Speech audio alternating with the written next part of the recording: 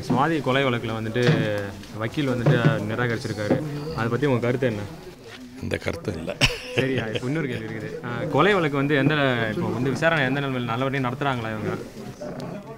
நான் இது பற்றி எந்த கருத்தும் சொல்ல விரும்பலை. ஏற்கனவே இந்த கொலையை பற்றிய வேதனையை கவலையை பகிர்ந்திருக்கிறேன். தமிழ்நாடு காவல்துறை திறமையாக செயல்பட்டு கொலையாளியை கண்டுபிடித்து கைது செய்திருக்கிறது என்று கூறியிருக்கிறேன். எனவே இந்த வழக்கை அவர்கள் முறையாக நடத்துவார்கள் என்று நான் கருதுகிறேன். இப்போ சிபிஐக்கு வந்துட்டு ஏதாவது மாற்றணும்னு இது பண்ணுறீங்களா சார்?